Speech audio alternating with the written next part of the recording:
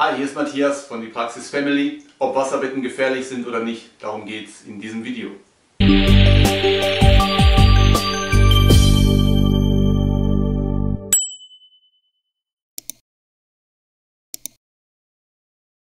Ja, sind Wasserbetten nun irgendwie gesund oder nicht gesund? Es kommt immer darauf an, wen man fragt. Fragt man jetzt ähm, den Orthopäden, dann sagt er, ja, Wasserbetten sind klasse, weil sich das optimal anformt. Viele Wasserbettennutzer werden das auch bestätigen, dass Rückenschmerzen unter Umständen weniger werden oder andere Symptome, äh, die mit dem Gerüst, mit dem Skelett zu tun haben, weniger werden. Aber das ist leider äh, ein harter Preis, den man dafür bezahlt. Denn Wasserbetten haben zwei große, große Probleme. Das eine Problem ist die Heizung im Wasserbett, die ein elektromagnetisches Feld ausübt, auslöst. Es kann sein im Sommer bei bestimmten Temperaturen, dass man die Heizung unter Umständen nicht braucht. Manch hartgesottene braucht es auch im Winter nicht unbedingt. Aber die Wasserbettenheizung sorgt dafür, dass ein niederfrequenter elektromagnetischer Strom die ganze Zeit da ist und damit ein niederfrequentes elektromagnetisches Feld.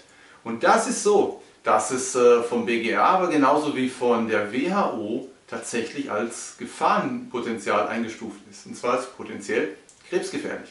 Wenn man einem niederfrequenten elektromagnetischen oder magnetischen Feld über viele Stunden ausgesetzt ist, nimmt das Einfluss auf unsere Zellen, auf die Körperzellen. Und das ist besonders brisant in der Nacht. Denn nachts ist es so, dass unser Körper sehr, sehr empfindlich ist und dass die Zellen ihre Zellteilungen machen.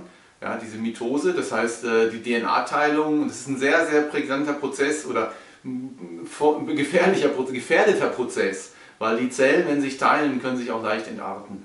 Das ist das eine. Das andere ist, dass die ganze Proliferation von Proteinen, also das Entfalten von Proteinen, das Bilden, das Entwickeln, die Regeneration des Körpers, der Zellen, ähm, das findet alles in der Nacht statt. Und wenn da natürlich dann ein elektromagnetisches Feld einwirkt, dann ist das unter Umständen schädlich. Und so ein elektromagnetisches Feld, das jetzt keine gezielte Ausrichtung hat, wie bei einer Magnetfeldtherapie, sondern das ganz einfach irgendwie dahin streut, kann da eben stören und kann dazu führen, dass über die lange Strecke hinweg, also nicht wenn man mal eine Nacht in so einem Bett schläft, sondern wenn man über viele Jahre in so einem Bett schläft, dass dann das Krebsrisiko eklatant steigt. Das ist ein ganz großes Problem. Wichtig ist zu wissen, Krebs entsteht immer dann, wenn Zellen in irgendeiner Form falsch funktionieren oder entartet, sich entartet teilen. Das heißt, wenn bei der Teilung ein Fehler entsteht und diese Zelle dann aber nicht stirbt, sondern sich einfach weiter teilen kann, dann nennen wir das Krebs. Und das ist natürlich ein Risiko. Das zweite große Problem, das war Problem 1, das zweite große Problem ist ein Phänomen, dass Wasser in Resonanz gehen kann mit jeder Schwingung auf dieser Erde. Wasser ist das einzige Element, das resonanzfähig ist zu allen Frequenzen. Das ist auf der einen Seite interessant und kann man unter bestimmten Umständen gut nutzen. Auf der anderen Seite ist es aber jetzt beim Wasserbett eine Schwierigkeit. Besonders, wenn das Wasser zu einem Quader geformt ist.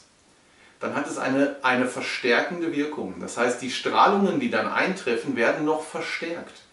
Es ist also so, dass ich auf einem, auf einem Frequenzverstärker liege. Das mag gut sein in einer Welt, wo es keinerlei Störstrahlung gibt, keinen Handyfunk, kein WLAN, kein 5G, kein gar nichts wo ich ganz einfach nur irgendwo auf einem äh, druidischen Kraftplatz liege mit meinem Wasserbett und kriege da tolle Heilstrahlung, dann ist das unter Umständen gut. Auf Dauer wahrscheinlich auch nicht, aber da ist was Positives dann zu finden.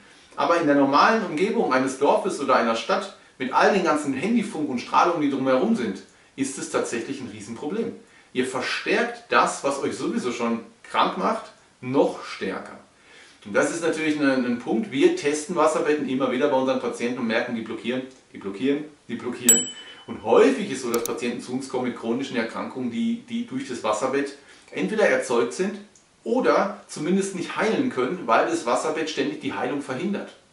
Wenn ihr also gesund sein wollt, dann macht es Sinn, ähm, sich vom Wasserbett zu verabschieden. Und wenn ihr überlegt, eins zu kaufen, besser nicht. Okay, in dem Sinne, ich hoffe, es hat euch äh, weitergebracht und teilt es weiter, gebt uns einen Daumen hoch und besucht uns auf Instagram, da erfahrt ihr mehr von uns. Ciao, der Matthias.